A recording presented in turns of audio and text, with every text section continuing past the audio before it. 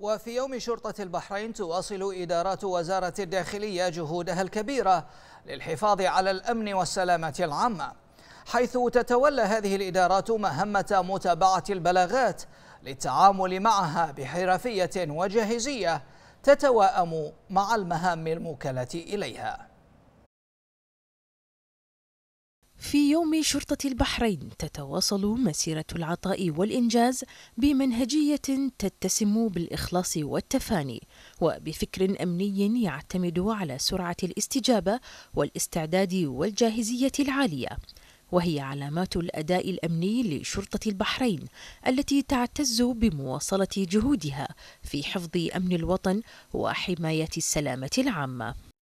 جهود وواجبات غرفة العمليات الرئيسية ترتكز بالمقام الأول على تقديم العون والمساعدة لكل المتصلين بمركز تلقي البلاغات 999 والتي تتمثل في استقبال وإرسال ومتابعة للبلاغات حيث يتلقى مركز العمليات وزارة الداخلية 999 ما يقارب الألفين بلاغ باليوم الواحد منها 400 بلاغ فعلي.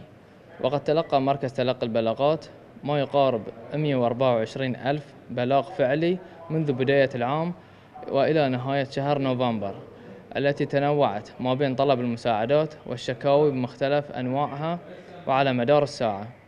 كما تم تدشين تطبيق مجتمع واعي بتاريخ 6 أبريل 2020 بمركز العمليات بوزارة الداخلية والذي يعني بمتابعة الأشخاص ممن عليهم حجر منزلي للتأكد من مدى التزامهم بتعاليم الحجر.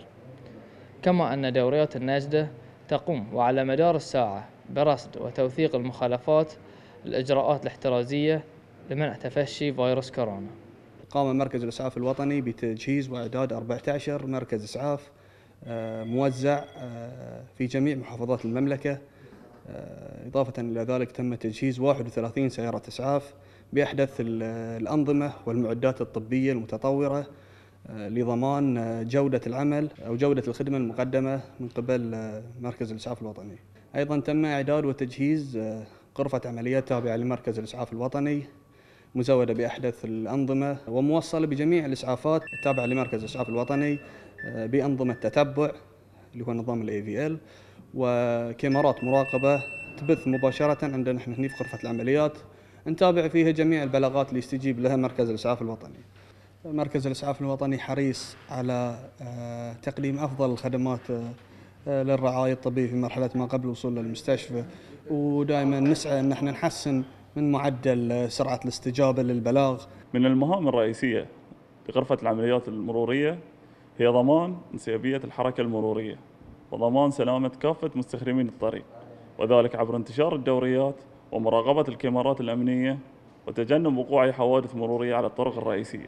وتعمل غرفة العمليات المرورية على مدار الساعة.